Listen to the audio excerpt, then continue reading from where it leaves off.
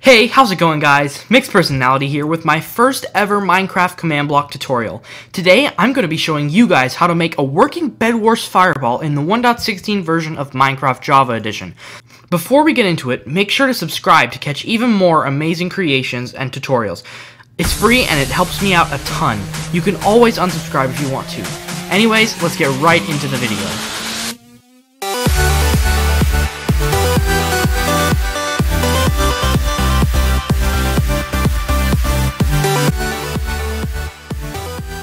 So I looked around the internet for a while on how to do this because I was curious myself.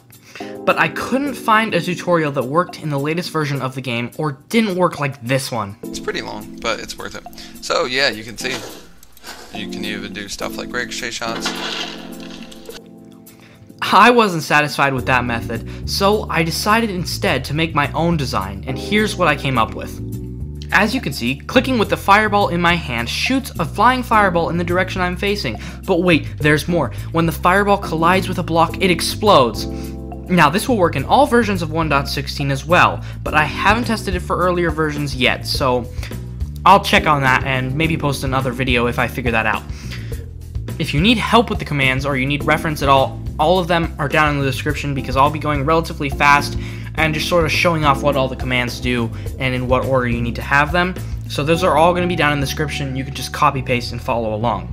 Alright, so the first command we're going to want to do is to give ourselves a command block. So we're going to do slash give at s command block like so. And boom, we have a command block. Alright, so step one done. Now this first command that we're going to do for the actual fireballs does not use a command block.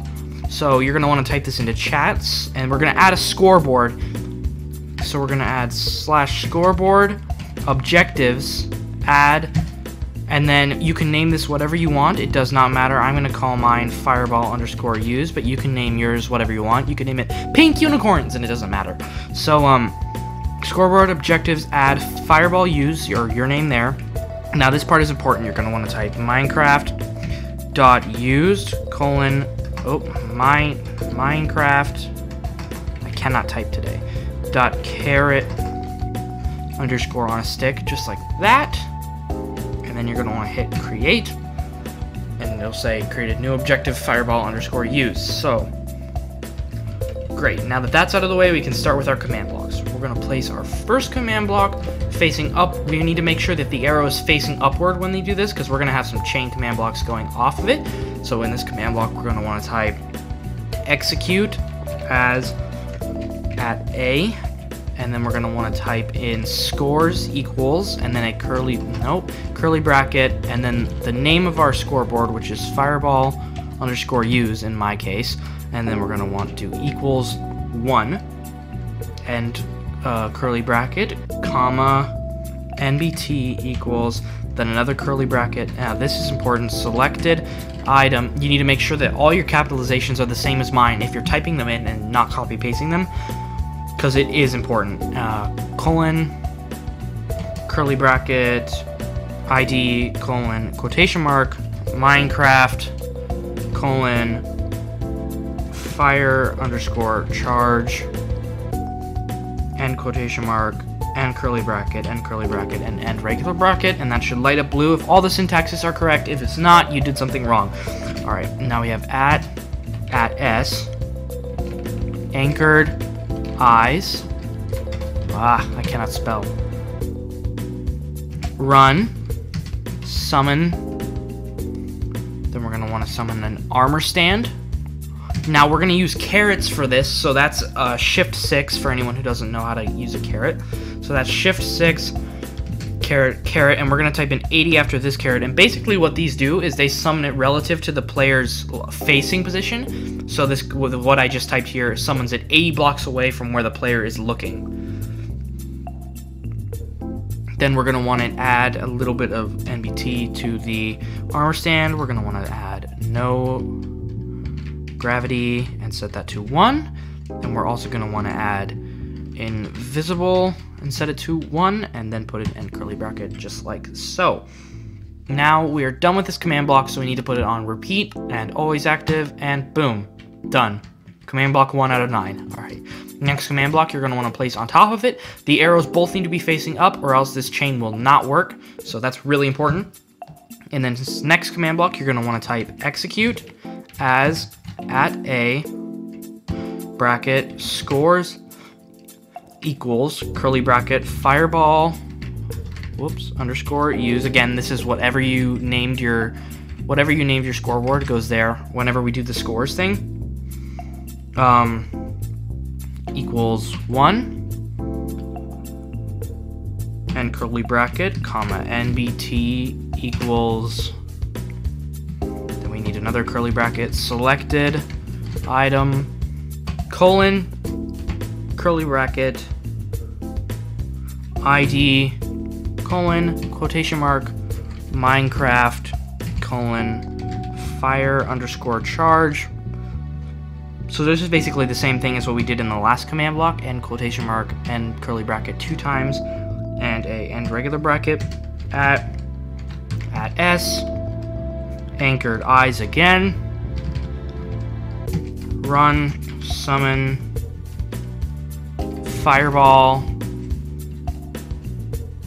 then we're want to use carets again caret, caret, caret, 1 then we're want to add some NBT to this fireball. So this one the NBT we're to add is motion actually. And then we're want to put a, a colon and a bracket. And then we're to put 0, 0.0 comma 0.1 comma 0.0 basically this will summon a um, a fireball that's ever so slightly moving upwards.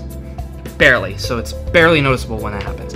Now we're also going to want to add explosion power and set that to about 3. So that's like sort of the damage radius of the fireball is the best way I can put it. Um, so if you want like a huge, massive, fiery explosion, you could put it at like 15 or something. But if you want a more realistic Bed Wars fireball, I always put it at 3 just because I think that that recreates it the best. Then you're going to put an end curly bracket. And then on this command block, you're going to want to put this as a chain, conditional, and an always active. Just like so. Now, on top of this chain, on top of this chain command block, you're going to want to put another command block, again, arrow facing upward, just like the one before. And in here, we're going to put scoreboard, players, reset, at A, and then the name of your scoreboard right here, and whatever you named it is going to go there. Now this is going to be a chain and conditional and always active as well, and congratulations, we are one third of the way done through the fireballs with these three command blocks. Now we're going to place this one here, and in this command block we're going to put execute unless entity add a, and then we're going to put a bracket NBT equals uh, selected item. Then we're gonna want to put another. Oh wait, I forgot a uh, I forgot a curly bracket right before selected item. Uh, selected item colon ID ID D the colon quotation mark fire charge. Then we're to put an end quote, at two end curly brackets, and an end regular bracket. Oh, wait, I forgot. You got to put uh, Minecraft fire charge.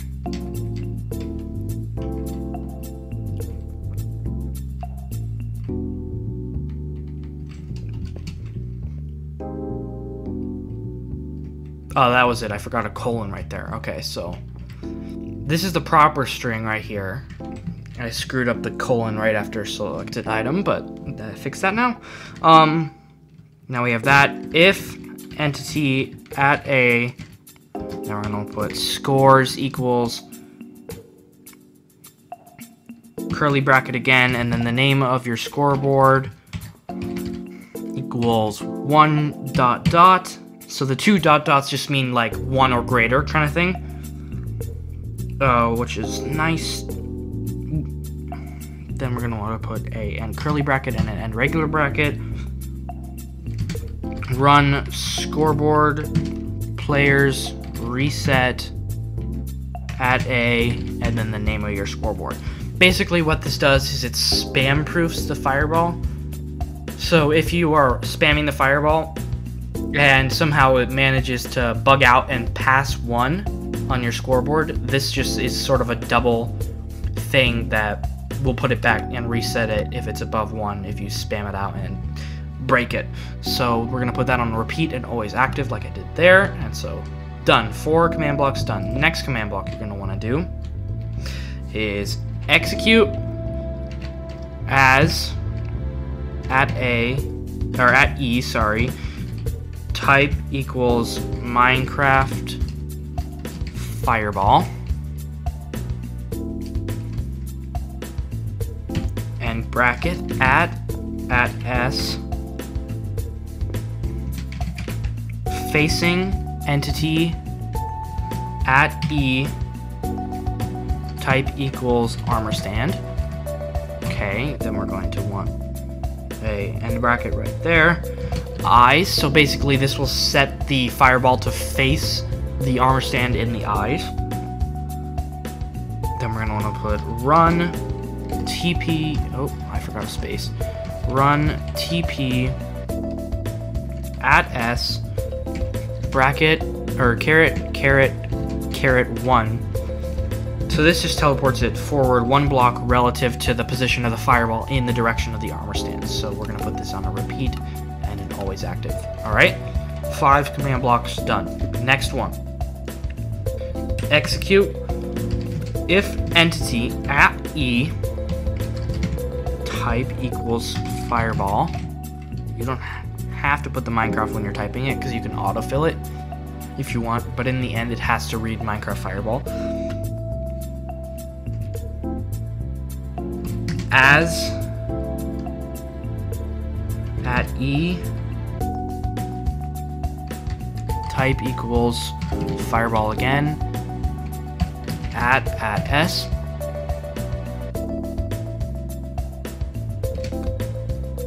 unless block tilde tilde tilde air run kill at e type equals armor stand. So end brackets. So what this does is basically it detects if the block that the fireball is in is air or not. So if it's not in air, it will kill its target so that it doesn't stop, so that it stops moving forward and explodes where it hits the block, instead of sort of just phasing through the block. Now we're gonna need to put this on a repeat, always active, like so. We're almost there. We have just a few more command blocks to go. This one needs to be execute as at E type equals fireball add at S.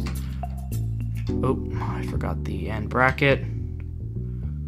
End bracket at at S run data merge entity at S.